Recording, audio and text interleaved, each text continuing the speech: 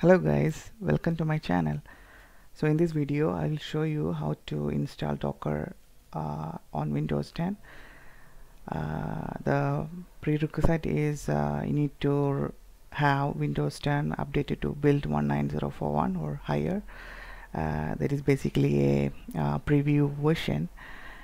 And uh, as a first step you need to enable Windows subsystem for Linux uh, that you can do uh, by running the PowerShell uh, console with administrative right?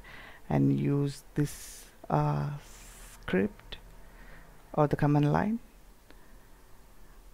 to install and enable uh, WSL and the next step is um, enable virtual machine platform. I can do the same thing with this particular script for enabling it as well just copy and uh, paste. Once both of the things are done then we have to do a mandatory restart to get the changes in effect.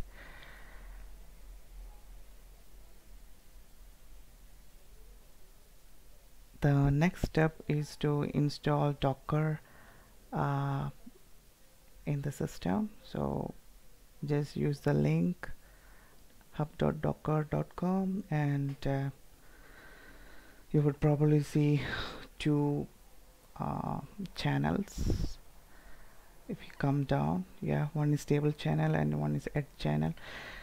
And uh, uh preferably I'll be going with uh, the stable channel because it's quite stable compared to compared to the edge channel which is having a lot of uh, minor bugs and nightly builds okay once it is installed then we have to set WSL uh, version 2 as the default version uh, through a PowerShell snippet. Okay just copy it and paste in the yep so that's done. And the next step is to install Linux distro distribution from the Microsoft Store. So just go there and you would see a search bar search Linux there. So you would see a lot of Linux distributions in the search results. So you can have Ubuntu you have Kali you can have uh, Debian so you Linux. So for for my case I have used Debian um, as the Linux distribution just install it. And once you install it uh, you can just log into that Linux distribution with the uh, respective commands. And I'm just doing a ls command on the root level. So you can see the root Linux root system folders has been created. And the next step is to enable the WSL integration in the docker.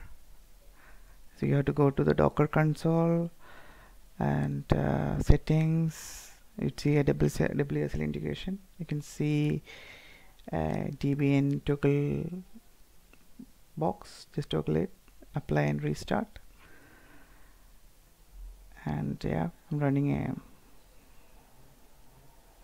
docker command sir. We can just try it out with the docker run hello command and yes you can see it has been executed